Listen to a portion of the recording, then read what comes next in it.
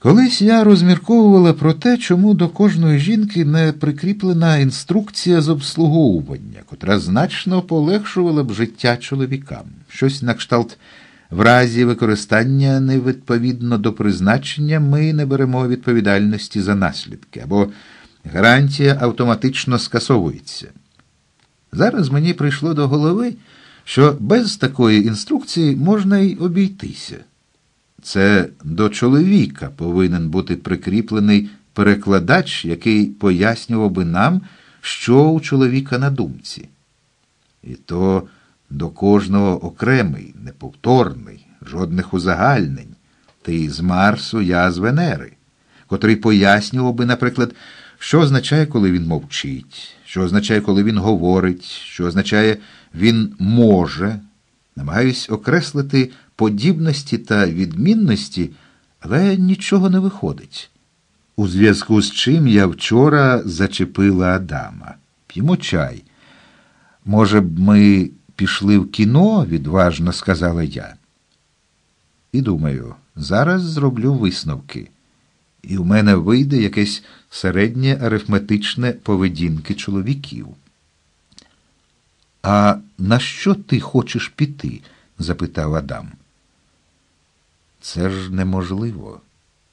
Це можливо. Не вірю.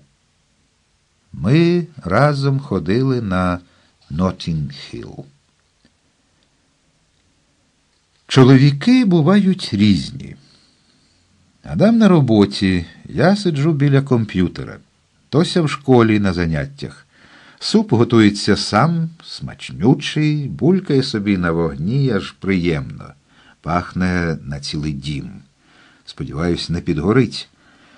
Колись у мене підгорів розсіл. Тепер я вважаю, вже два дні лє, дорога розмокла, але як гарно, о матінко. І Адам відразу ж після роботи приїде, лише заскочить додому переодягнутись і залишиться до понеділка. Я думала, що коли мама і тато, врешті-решт таки довідаються, що в мене спить якийсь чоловік, то буде скандал. Наприклад, мама скаже, при дитині я не сподівалась цього від тебе, а батько скаже, що якби був на моєму місці і так далі. Але нічого подібного. Вони, здається, взагалі вже за мене не переживають. Може, перестали мене любити. Мама лише запитала, чи любить його Тося. Але ж, перепрошую, це я в нього закохана, а не Тося. Батько сказав, що не хоче втручатись, але ж я знаю, що чоловіки і так далі. Ну, таких поглядів я від нього не сподівалась. Здається, я їм байдужа. А чоловіки, чоловіки бувають різні. Зазираю до ванної. У мене з'явились такі новинки лосьйон після гоління та машинка для гоління, а також зубна щітка орал з червоною смужкою, аж приємно подивитись. Задзвонив дзвінок. О, будь ласка, до мене заскочила феміністка. Феміністка сповнена отрутою, добряче підлитою інтелектуалізмом. Вона багато читає, багато знає, в раціональному мисленні на цілу голову вища за всіх знайомих мені чоловіків, а також за деяких жінок. А попри це, пообіддя було б вдалим та приємним. Феміністичні теми, в яких феміністка зазвичай тримає першість, не загрожували нам. Чекав запарений чайок, я напалила в каміні, бо стало холодно, весело потріскувала береза, але на нещастя з'явилися на горизонті мої коти. Інтелектуалка пожвавилась, відчинила вікно, упустила усіх трьох і запитала, чи вони кастровані. Блиск в її очах свідчив про те, що тема кастрації їй не чужа, і що перед нами розгортаються неосяжні можливості дискусії на тему, сказати б, первинності яєць. На трьох котів, бо минулого тижня до нас примандрував знайда, якого Тося протягом останнього року підгодовувала в комірчині. Тож тепер на трьох моїх котів припадають двоє яєць знайди, бо зараза і потіма з міркувань безпеки довелося каструвати. Двома будинками далі живе так званий голубар, і коти з яйцями часто вирушали в його околиці, звідки дехто з них уже не повертався, бо голубар віддає перевагу вбиванню котів заради захисту голубів. Мабуть, зроблю про нього репортаж. Я глибоко вдихнула і пояснила інтелектуалці феміністці, чому моїх дорослих котів позбавили регалій чоловічості.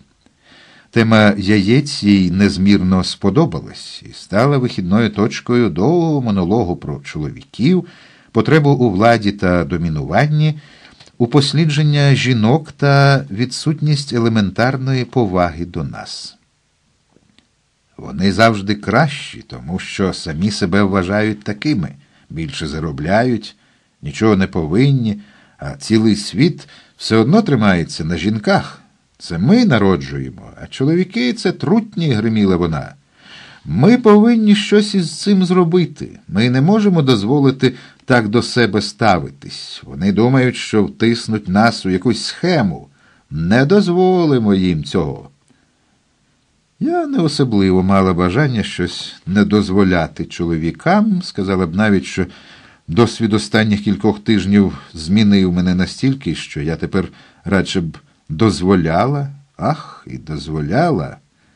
Я не бачила безпосередньої небезпеки, пов'язаної зі втисканням мене в якусь невідому, проте загрозливу схему. Мої коти спокійно віддалилися в бік кухні, скинули накривку з каструлі з супом, пошелестіли целофановими пакетами. Я попросила у феміністки пробачення, підняла накривку, насипала котам того, що вони купували б собі самі. Може, і купували б, але зараз не їли, продовжували нявкати у бік супу, а я повернулась до каміну. Феміністка була у своїй стихії. Я вирішила дати їй виговоритись, але вона заатакувала мене з подвоєною силою. Вони думають, що краще від нас, а це не так. Ти цього не бачиш? Я не бачила. Тобто зазвичай бачила, а зараз ні. Адам був точно кращим, особливо вранці, тому що готував сніданки. Сказав, що любить. Я готувала ввечері. А останнім часом я особливо була за відмінності між жінками і чоловіками. Сказала б навіть, що я стала фанаткою цих відмінностей. Феміністка була вражена. Якби наказувати їм народжувати дітей, почала вона. О, це вже ні. Я не марнуватиму пообіддя на розв'язування загадок. Що було б, якби.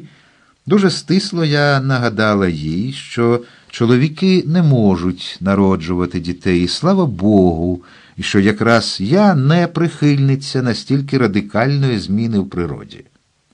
Але яйця котам ти повідрізала, тріумфально крикнула вона, і безсумнівно почувалася краще. Так ти висловила своє підсвідоме бажання непідпорядкування чоловіками. Правильно, якби кожна жінка щодня каструвала хоча б одного кота, вона була б свідома власної сили, світ виглядав би інакше, а так ми лише для прислужування. Мої коти повернулися з кухні. Один ліг біля пса, пес тихенько буркнув, але навіть не поворухнувся. Другий виліз мені на коліна і, зручно відвернувшись задом до світу, з мордочкою під моїм ліктем, муркотів. Третій застрибнув на стіл, почав полювати за кульковою ручкою, скинув її на підлогу і завзято з нею воював. Я перетравлювала останні речення. Невже вона казала правду? Невже мої дорогі коти розплачувались за різницю між нами та огидними чоловіками? Котрі використовують мене, котрі є гіршими, котрі втискають мене в схеми, про які я не маю уявлення, я насправді страждаю, тільки не знаю про це. Може, з ними необхідно вести боротьбу, просто я забула про це. Зарчала машина. Адам. Я була за крок від того, щоб зірватися, але поглянула на інтелектуалку феміністку. На її обличчі з'явилась тріумфальна посмішка. Я осіла. Брязкнула брама, я не підвелася. Чоловіки не матимуть наді мною влади. Я не повинна бігти до дверей і захоплено цікавитись, як минув його день. Нехай сам собі відчиняє, у нього є ключі. Нехай не думає, що він кращий. Чоловік увійшов. Пес зірвався і радісно вітав його в передпокої. Зараз рушив слідом. Знайда, котрий лежав у мене на колінах, спритно зістрибнув і, піднявши хвоста, гордовито попрямував на кухню. Потім покинув ручку і скочив за знайдою, намагаючись дорогою спіймати його за хвоста. А я сиділа. Крізь прочинені двері я бачила, як Адам відкладає газети і сумку, а покупки несе на кухню. Вітається з псом, ладить котів, повертається до передпокою, знімає куртку, заходить до нас. О, у тебе гості, сказав він, після чого привітався з феміністкою, а мене поцілував у чоло. Але ходімо на хвильку до кухні.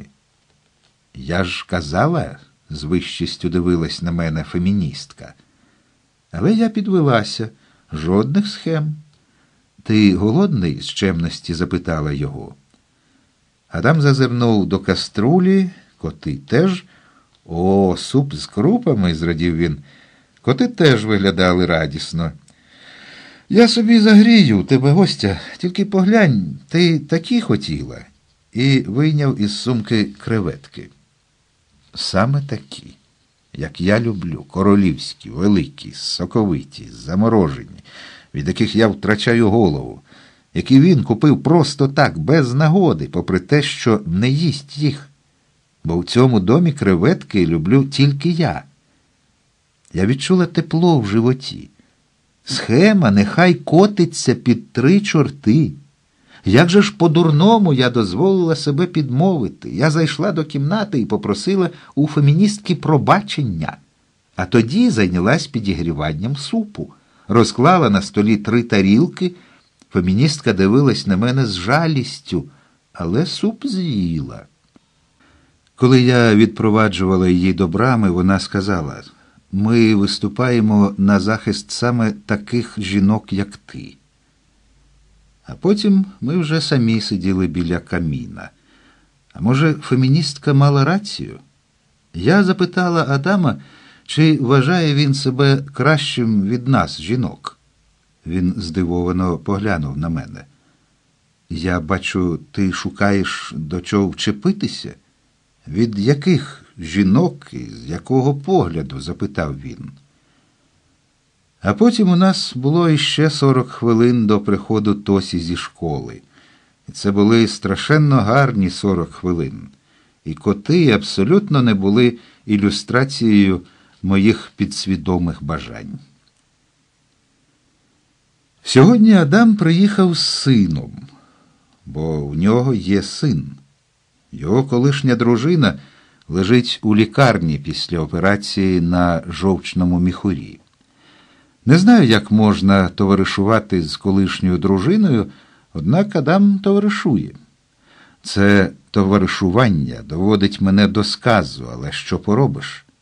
Син довгий, Тося відразу ж його присвоїла, а у мене від знервованості тряслися руки, поки я робила вареники. Адже такий син це ще гірше, ніж свекор та свекруха.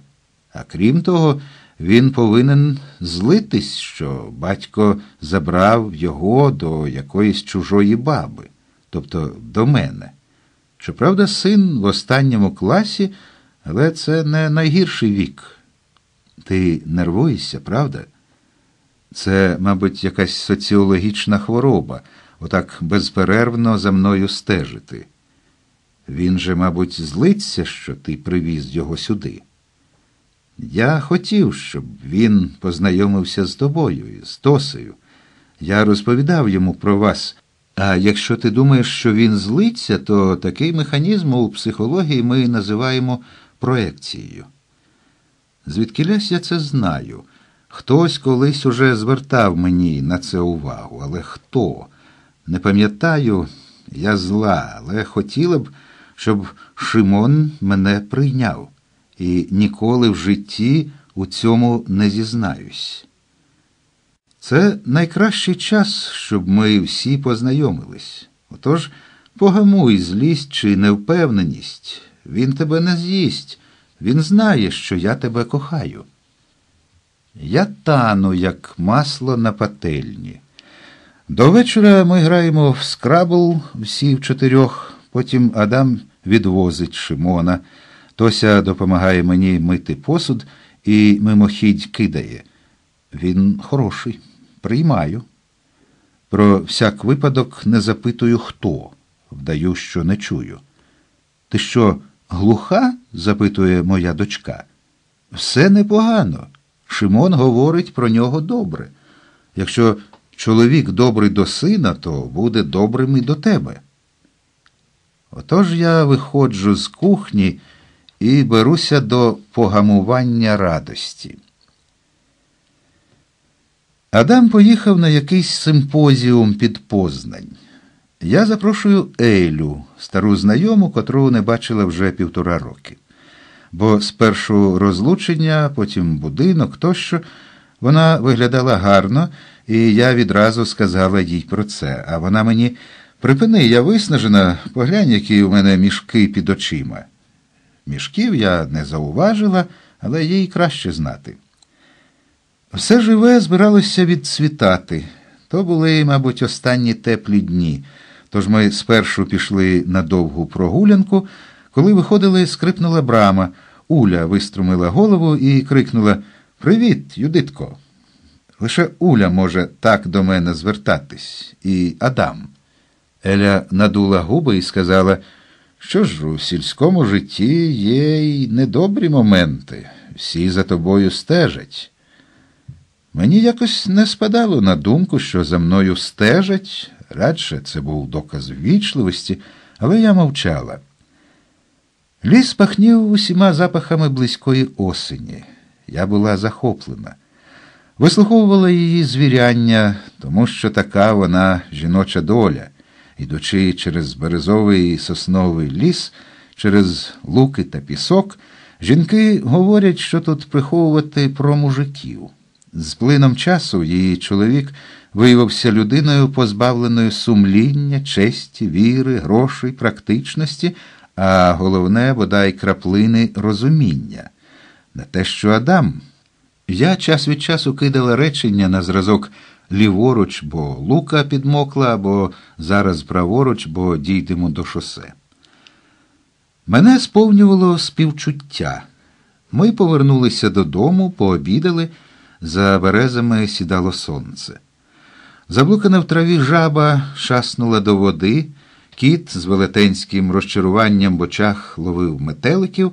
А Еля, сидячи в садочку, подивилася вдалечінь і сказала так, попри ті недоліки, про які ти говориш, це місце не позбавлене чару. Мене заткало. Навіть більше на якийсь час я просто заціпеніла. Потім я витиснула, я щось таке говорила? І я довідалась, що вона знає, як складно мені жити там, де всі знайомі і стежать одне за одним, і що всі навколо знають, хто заходить і хто виходить з мого дому, що лісочки тут, може, і гарні, але ж я сама казала, що підмоклі, а отже, нездорові, можна навіть сказати, малярійні. І, зрештою, що це за ліс, коли недалеко шосе, що тут повинно бути повно комарів, якщо є вода, бо жаба ознака води, і вона на загал зі мною згідна, що тут не надто добре. Мені урвався терпець, я сказала, що в неї вибірковий слух, а потім зі співчуттям подумала про її чоловіка. Я запитала, чи справді він такий нездара та тюхтій. Як же вона обурилася? що нічого такого вона не говорила. Потім я згадувала про її мішки під очима. Вона сказала, що я неввічлива і майже образилась. Я запитала, чи пам'ятає вона, що я сказала їй, що вона гарно виглядає. Вона не пам'ятала, бо не почула. А чоловік її чудовий, просто чудовий. Але замість того, щоб посваритись, ми нарешті дійшли висновку, що в нас довгі вуха, чутливі до кожної зміни тону голосу, але передовсім вуха, яким легше сприймати неприємні речі, ніж приємні. Щоб дотримуватись доброго тону, слід вихопити з розмови з кимось щось погане, компрометуюче, уникати компліментів, спертися на цей єдиний факт і на ньому будувати свою відразу до світу. Будучи маленькою, Тося якось дуже зраділа, коли я сказала, що посеред кухні робиться купа кубиків. За святковим столом не мушу казати, що у свекрів, заливаючись сміхом, вона оголосила у нас на кухні була купа. Мама зайшла і сказала, що ця купа робить посеред кухні.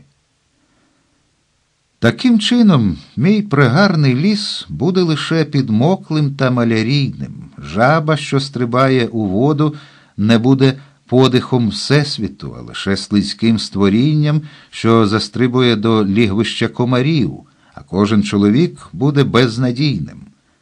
Але якщо я так слухаю її, то, може, так само слухаю всіх? Можливо, я для бідолашного Адама хрест Господній. Невже я взагалі не раділа, лише шукала дірку у цілому? Коли я відпроваджувала її на станцію, над полями здіймалась легка імла, скрипнула хвіртка. Еля помахала в бік улі і гукнула До побачення.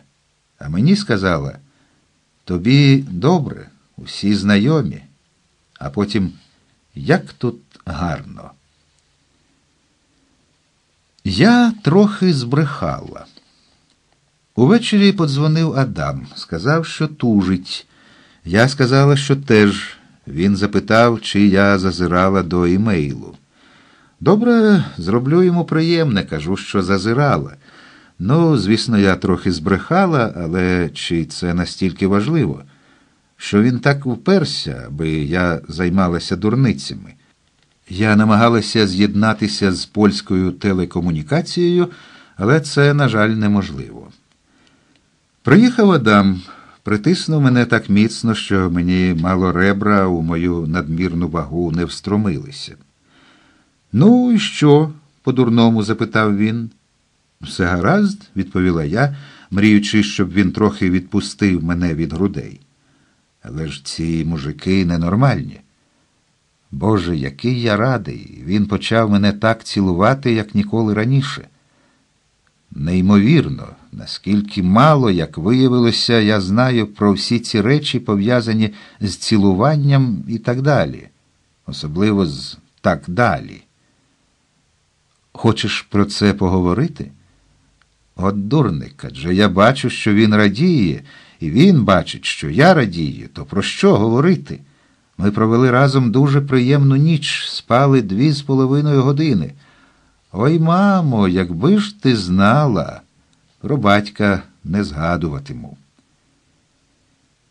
Мій день народження. Приїхали всі. Манька на сьомому небі разом зі своїм. Жесік з Агнєшкою, Кшиштоф, математик, подруга дитинства і 38 інших осіб. До того ж, проїхала та дівчина на білому коні, що їздить тут ціле літо, і помахала мені. Я відразу ж загадала бажання, не скажу яке. Адам був до всіх страшенно милий, наливав напої, просто розмовляв з людьми і визнав, що я маю рацію. Ева таки справді гарна.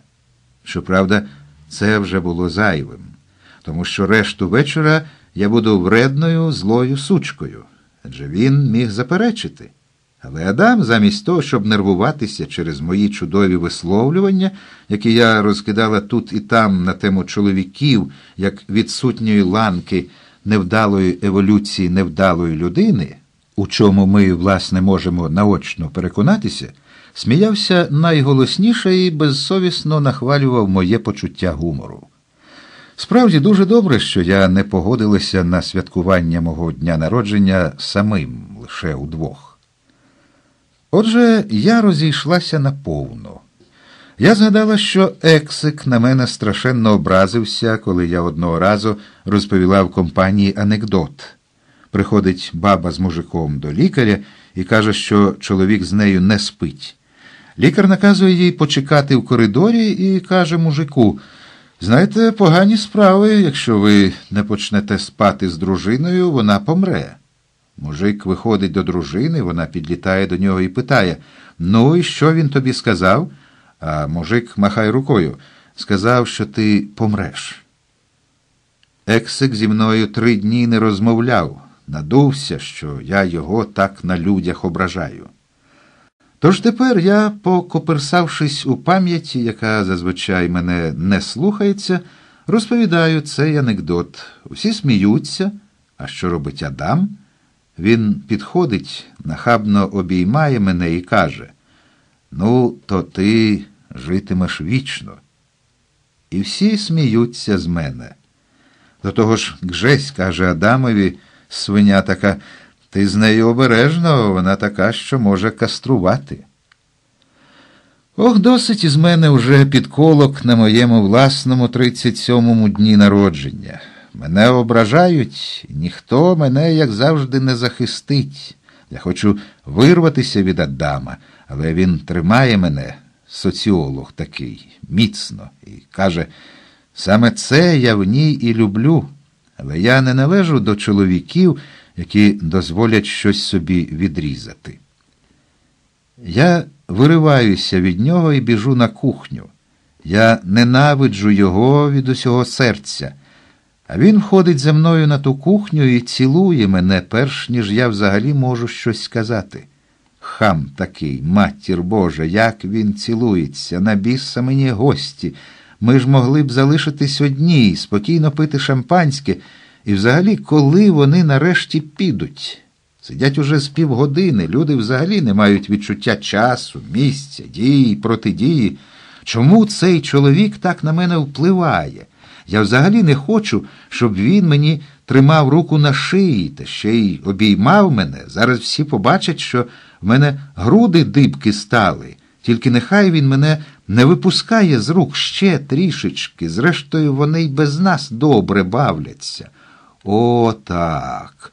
Це був насправді фантастичний день народження. Ми домовляємося з Адамом, що я не муситиму щодня готувати, бо ми перебуваємо в партнерських стосунках і допомагаємо та виручаємо одне одного. Що не існує типово чоловічої і типово жіночої роботи. От тільки важку роботу виконує Адам, бо я жінка. Адам іноді митиме вікна, зате я пальцем не торкнуся машини з метою зміни колеса, техогляду або витягання з болота. Я не прибиратиму після Адама у ванні, не чіпатиму його лез для гоління, хіба би закінчилися мої що я можу носити його зелену сорочку, бо краще, ніж він у ній виглядаю, а на нього вона і так майже замала. Але він не носитиме моїх речей, таких, наприклад, як мої грубі шкарпетки із Закопаного. І ніколи, насправді ніколи, без мого відома, він не доторкнеться до мого комп'ютера. І він ніколи мене не обмане, бо навіть найгірша правда є кращою, ніж найкраща брехня. Я більше ніколи не хочу бути обманутою. Адам увесь час сміявся. Він сказав, що я чудово вмію вести перемовини. Має бути так і ось так, але додатковим пунктом угоди зазначається, що в мене будь-коли щось може змінитись, а в нього не може. Він переїде у п'ятницю з речами. Зараз ми фарбуємо кухню, і сантехнік пересуває раковину, бо мусить поміститися стіл, а до вітальні занесуться речі Адама, бо квартиру Адам здаватиме. У четвер сталася катастрофа. Все закінчилось. Я знала, що чоловіки безнадійні. Адам нічим не відрізняється від Ексика. Він гірший від гірика. Я не хочу ні з ким розмовляти. Я більше ніколи нікому не повірю. Якби в четвер вночі, одразу після прибирання кухні, ми не пішли до Улі і Кшися на гриль, усе склалося б інакше. Якби на цьому грилі Кшись смажив рибу замість курячих грудок, я була би щасливою, несвідомою нічого жінкою. З ілюзіями. Але ми закінчили пересувати меблі о десятій. Кшись задзвонив і сказав, що вони сидять на терасі. В нас ще не було води на кухні, бо сантехнік забув щось підключити муфту чи коліно. Отже, Кшись сказав, щоб ми приходили на вечерю до них. І коли він вкладав грудки на гриль, Уля сказала Адамові Пощастило тобі.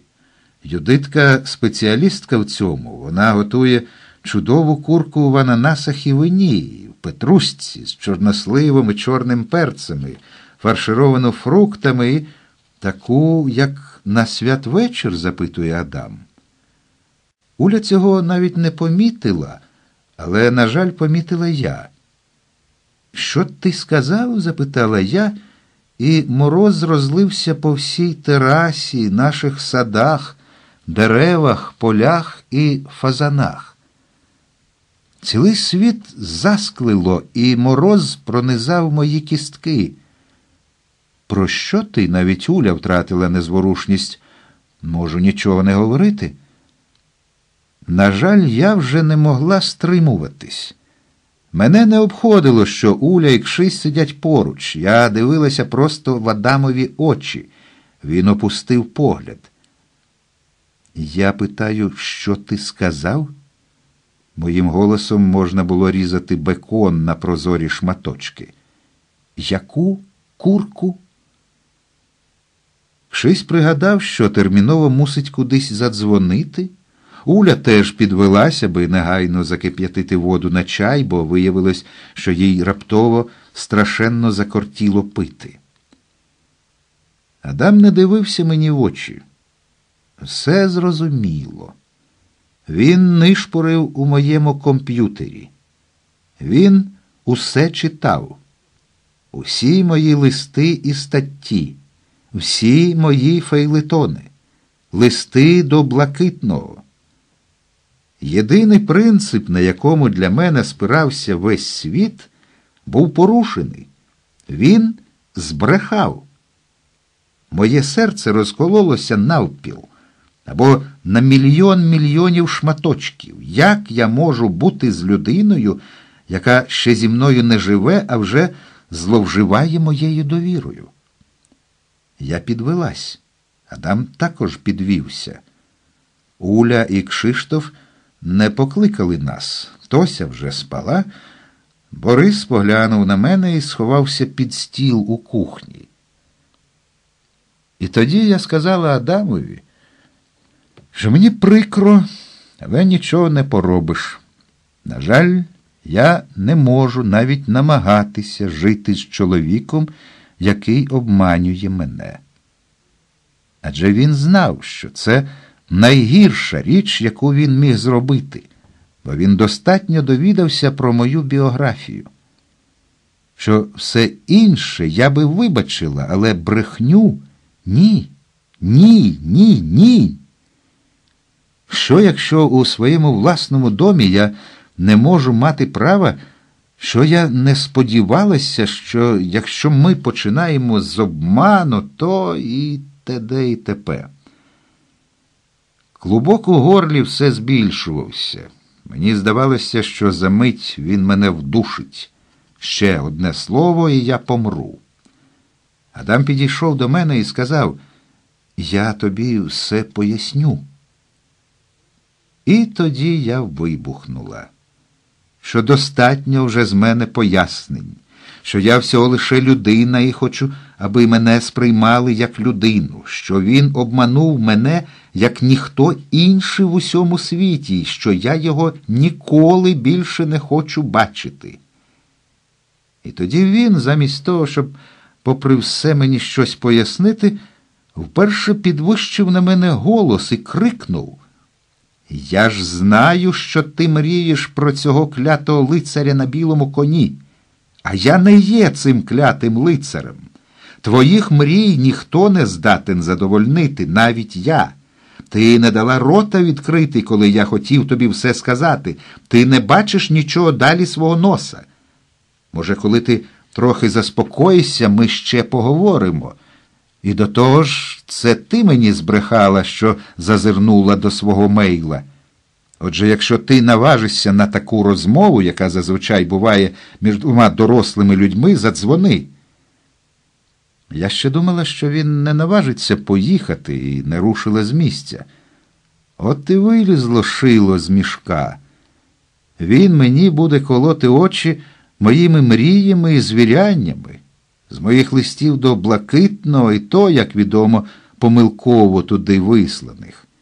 І він докоряє мені брехнею в такій дріб'язковій справі ніколи більше жодних чоловіків. А все-таки він поїхав. Я сиділа, наче паралізована. Уля війшла через терасу, Борис і далі сидів під столом. Яка комаха тебе вкусила? запитала Уля. Я пішла на кухню і відкрила шампанське, яке ми купили за дамом на завтра, і принесла два кришталеві келихи, куплені в росіян під вокзалом. Випиймо, сказала я, наливаючи шампанське. Я починаю нове життя. А потім, на жаль, розплакались. Я це знала від початку. Ось так закінчилась моя велика любов. Зріла, така, що вже ніколи не перевернеться на жодному повороті, бо знає, чого уникати. Тося сказала, що не думала, що має маму ідіотку. Я розплакалась. Уля сказала, що я не можу поводитися як дитина. Я розплакалась. Моя мама задзвонила і запитала, що чути. Я розплакалась. Вона була приголомшена. Мій батько задзвонив і запитав, чому моя мати приголомшена, але я не змогла йому сказати, бо плакала. Задзвонив мій брат, до якого задзвонив мій батько, аби запитати, що сталося. Я не могла йому сказати, бо плакала. Він був приголомшений. Адам нічого не сказав, бо не задзвонив. Я лежала коло Бориса і плакала. Як він міг бути такою свинею і навіть не задзвонити? Він не кохав мене. Просто він мене не кохав. Я це знала від початку. Увійшла Тося і побачила мене в такому стані. Вона сказала не розвеселиш пса, махаючи його хвостом. Я не розумію. Я бачила сьогодні його машину під Улиним будинком. Потім Уля сказала, що хотіла би зі мною поговорити. Але я їй сказала, що якщо про Адама, то ми не маємо про що розмовляти, і розплакалась. Я не можу спати, я не можу їсти. Я завжди худну, коли мене хтось зрадить. Ніхто мене ніколи так сильно не ранив, як Адам. Лихо його бери, ну, прочитав мої файли, але ж міг принаймні покаятись. А тепер чітко видно, що він шукав приводу для розриву. Він боявся шлюбу саме за день до переїзду. яке ж воно все статистичне. Ненавиджу чоловіків. Я крутилася в ліжку до другої ночі. О другій встала і зробила собі бутерброд, не посмакував. Віддала його Борисові. Я не могла читати. Увімкнула комп'ютер і грала у таку гру, де треба відбивати м'ячика. Чудова гра для мого душевного стану, єдина. О третій, про всяк випадок, я з'єдналася з телекомунікацією. Прийнято сім повідомлень. Непрочитані повідомлення сім. Господи, що я наробила? Перше повідомлення блакитний. Мені насправді дуже треба з вами зустрітись. Будь ласка, напишіть мені. Друге повідомлення блакитний. Пані Юдито, я не хочу зловживати вашим терпінням, але для нас обох було би добре, якби ми все-таки зустрілись. Ох, блакитний, при тобі світ виглядав би по-іншому. Ти зі своєю параноєю на тему дружини принаймні був чесний. Третє повідомлення блакитний. Я познайомився з винятковою жінкою. Чи можу я з вами цим поділитись? Якщо ні, то прошу відповісти. Четверте повідомлення блакитний. Я познайомився з винятковою жінкою, її звати Юдита. О, так само, як мене. Що я мушу зробити, щоб її не втратити? П'яте повідомлення блакитний. Юдитко, я не знаю, чому ти не хочеш зі мною розмовляти. Я не хочу, аби між нами залишалась невизначеність. Можливо, легше бути таким чином. Це я написав листи про зраду. Ідіот. Та ж я знаю, що це ти, а не я, блакитний параноїку. Я проводив дослідження, як виглядає суспільна домовленість, наприклад, щодо зради. І виявилося, що жінки та чоловіки реагують по-різному. Я написав до 32 редакцій, як зраджений чоловік і як зраджена жінка. Це був приголомшливий досвід.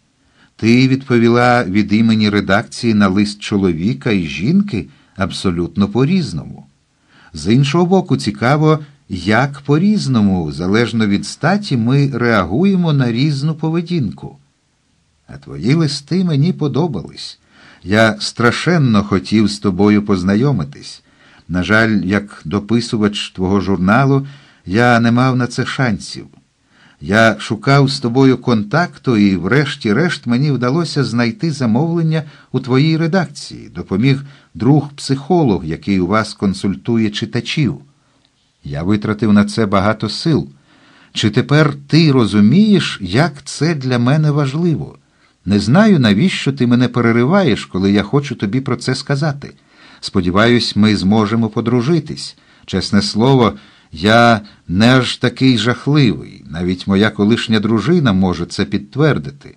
Можливо, тобі ніякого через той лист, висланий до мене помилково, але це було супер. Я відчув себе жінкою і, здається, закохався в тебе, не як жінка. Шосте повідомлення блакитний.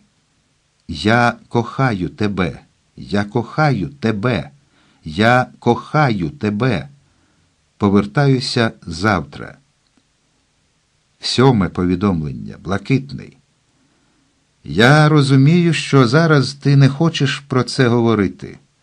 Чи зможу я, коли перевезу до тебе свій комп'ютер, висилати тобі час від часу щось дуже приємне? Наприклад, планувати, що я робитиму з тобою сьогодні ввечері? Це так збудливо. Вітання Тосі, Борису, Заразу, Потіму, Знайді і не знаю, чи ти не підібрала ще кількох тварин від учора. Тож, одне слово, вам усім. У мене крутиться голова. Я нічого не розумію. Я нічого не розумію, я нічого не розумію. Я наливаю собі коньяку, потім наливаю собі узо, привезене з Кіпру. Я не розумію. Яка ж я ідіотка? Все втрачено. Він знає, наскільки я безнадійна. І брешу. Він має рацію. Він завжди мав рацію. Коня мені білого подавай, нічого більше я бачити не здатна. Я не можу до нього написати, я не можу до нього задзвонити. Все пропало, це вже кінець. Він не пробачить мені такої дурості. А я ще його і образила, і вигнала, і сказала, що не кохаю його. О Господи, це ж блакитний. Адаме, блакитний, я зроблю тобі курку на святвечір і подарую тобі мільйон дзвіночків і все, але не задзвоню. Бо ж не можу я задзвонити о четвертій ранку. Натомість о четвертій ранку я можу напитися узо. Воно чудове, воно просто чудове, найкраще. Якщо людина трохи вип'є УЗО, то може навіть написати мейл. О п'ятій ранку мені вдається ідентифікувати напис вгорі, написати відповідь. Е, що вже там?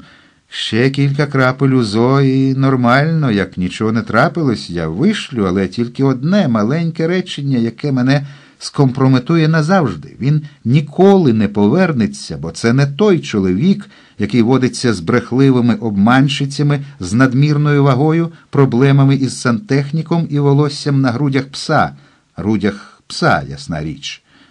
Це має бути дуже розумне і добре речення. Не розчиняйся під дощем, блакитний Адасю. О четвертій тридцять на екрані я бачу напис Коли відійшлеш повідомлення, воно буде записане в папці Відіслані повідомлення і відійшлеться після вибору команди Прийом і відсилання. Я натискаю ОК і випиваю трішечки УЗО. Тепер на екрані подвійний напис. У твоїй скринці відісланих повідомлень знаходяться невідіслані повідомлення, чи ти хочеш їх вислати зараз? А от цього я не знаю. Я не повинна їх висилати. Я все знищила. Я завжди все нищу. Добре, що Ексик пішов до Йолі, яка взагалі не є грубою. Правильно зробив, недурний хлопець. Зовсім не дурний був. Я можу трохи випити узо. Воно пахне анісом і кіпром. Я обожнюю кіпр. Я обожнюю блакитного. Я завжди його кохатиму, доки не вмру, і він за моїм трупом зрозуміє, що я його так кохала і була така дурна. Я натискаю ОК. Телекомунікація з'єднує мене з першого разу. Спритна така, бо зараз п'ята ранку. Ще тільки ковточок узо і можна засинати назавжди. Бо завтра неділя. Проти неділі узо взагалі не зашкодить. Боже, чому хтось так страшенно голосно дзвонить? Мамо моя рідна, ніколи більше не питиму Анісівки. Хто це дзвонить так рано? Це не телефон. Я спускаю ноги з ліжка. Кімната трохи коливається вліво і вправо. Це домофон. На світанку, в неділю. Я дивлюся на годинник. Перша година, йду на кухню. Чому Тося не може відчинити і сказати, що я померла? А, в Тосі волейбольний матч об одинадцятій. Вона й пішла. Я п'яна в дим, я зовсім буха. А перед хвірткою я бачу білого коня. Я п'яна, я п'яна, я ховаюся за шафку, ще раз дивлюся. На коні сидить Адам. Коня за уздечку тримає дівчина в шапочці з нагайкою в руках. Це галюцинації. Не буває білих коней. Бувають білі миші. Ніколи в житті не торкнуся алкоголю. Я поволеньки йду до передпокою. Дзвінок. У мене слухові галюцинації, бо зорова галюцинація не може дзвонити в домофон. Я повертаюся на кухню. Вони стоять там у трьох. Білий кінь, дівчина в шапочці з вуздечкою і він. Три галюцинації. Я натискаю на кнопку, вони заходять, усі троє. Я відчиняю двері. Адам сповзає з сідла. Здається, він уперше в житті сидів на коні. Борис радісно підстрибує до дверей, підтискає хвоста під себе і підкошує мені ноги, коли я шукаю порятунку в панічній втечі. Я падаю на траву у нічній сорочці, о перші дня, у присутності чужої жінки, точніше, земля, що пахне анісом, трохи налітає на мене. Адам піднімає мене і цілує. Боже, нехай він мене не цілує, навіть якщо я почищу зуби вісімдесят разів. Пані в шапочці сміється. Але ж вона й гарна. Ну, ось тобі твій білий кінь. Пані була настільки люб'язною, що погодилася мені його ненадовго позичити. Але це востаннє присягаюся. Дуже дякую, ви смієтеся, мабуть, думаєте, що маєте справу з ідіотами. Я міцно тримаю Адама, нехай навіть не намагається бути люб'язним з цією жінкою. О, ні. Я так рада, мені так хочеться пити. Господи, яка ж я дурна. Кінь виходить, а Борис заходиться гавкотом. Він ніколи в житті не гавкав так голосно. Я конче мушу випити якогось соку.